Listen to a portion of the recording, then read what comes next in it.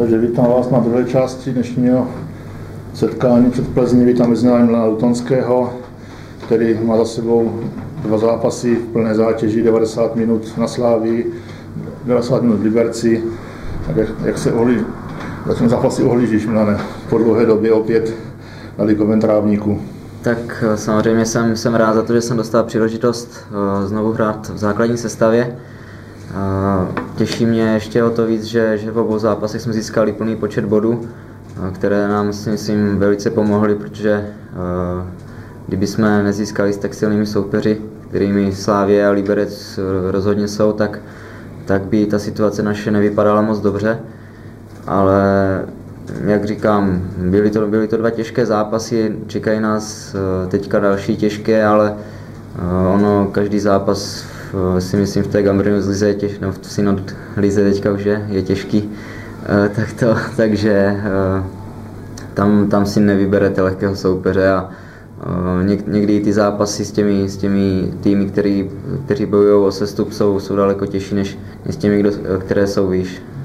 Vnímáte v kabině, že vás čeká jeden z vrcholů podzimu? Je ta taková nějaká hudnější, nabuzenější, navíc se vám daří? Tak nálada v kabině určitě je dobrá, protože, protože teďka máme, máme za sebou ty dvě výhry a před Plzní tomu posílí to naše sebevědomí, ale my respektujeme Plzeň jako kvalitního soupeře, který bojuje o poháry, takže bude to pro nás nesmírně těžké utkání. Možná naší výhodou trochu je, že, že hrajeme doma,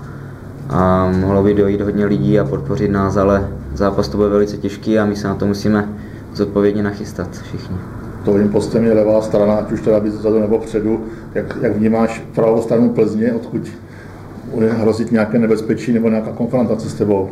Tak eh, na pravé straně tam stabilně hrává eh, Radim Řezník a Petr Žela, takže jsou to, jsou to oba eh, velice rychlí hráči,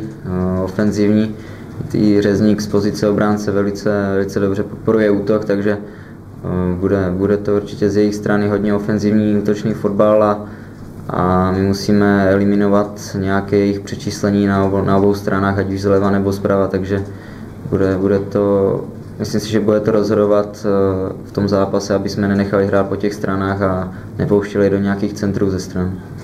Děkuji za úvodní slova i prostor pro vaše Tak otázky. já si myslím, že, že kdyby, kdybychom z Plzní bodovali, tak by to, tak by to bylo velice, velice příjemné plus eh, do tabulky i, i pro naši psychiku, protože jak říkáte, Plzeň sice není až tak suverénní, ale, ale stále je to tým, který, který pomýšlí na nejvyšší příčky v lize a chce se probojovat do ligy mistrů nebo, nebo do Evropské ligy, takže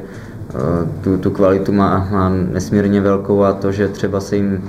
teď nedaří jako, jako v předešlých letech nebo nejsou tak suverénní, tak, tak to nic nemění na tom, že, že jsou stále velcí favoriti. Tak samozřejmě, kdyby, kdybych, eh, kdyby byl trenér přesvědčený, že, eh, že